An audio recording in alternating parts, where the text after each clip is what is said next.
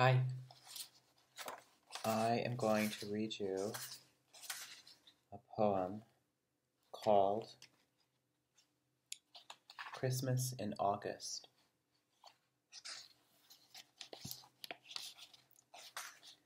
There it is. Okay. Christmas in August. Towns on the Northern California coast are foggy in August, with shafts of startled sunlight sometimes in the afternoon. It's hard to say what season you're in, so in the market this morning, idling past the sacks of cornflour with my cart, a snatch of the lilt of Spanish came into my head. Maria C. makes a hundred tamales every year for Christmas Eve and likes to talk when I see her in town on a cold December day about her schedule. The day she roasts the pork and boils the chicken, the day she spends simmering the mole, onions and garlic, of course, bay leaves and chiles, guajillo or chipotle for smokiness, and oregano. How much? you ask Maria, and she shrugs, un poquito.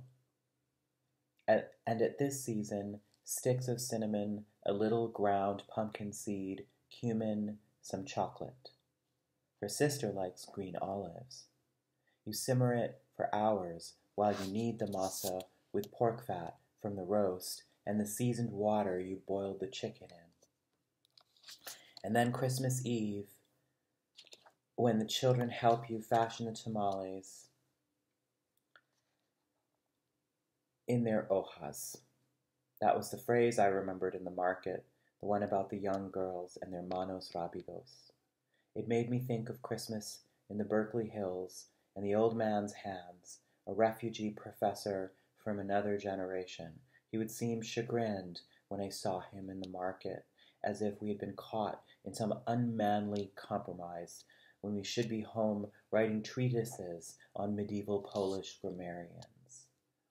But he loved preparing herring on Christmas Eve, and I can visualize his old hands, not so quick, slicing pieces of the fatty Baltic fish, assembling juniper berries, the vinegar and peppercorns and olive oil, bay leaves and cloves.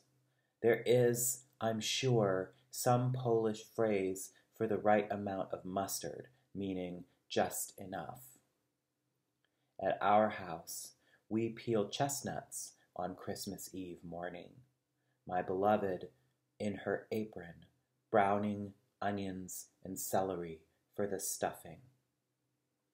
Her flowered apron all business, as if she were commandeering the ship of the world, which in a way, on that day, she does. Outside, it was August. The planet just turning toward the dark, a long way and not a long way from the short, dark days we gather to celebrate the light surviving through.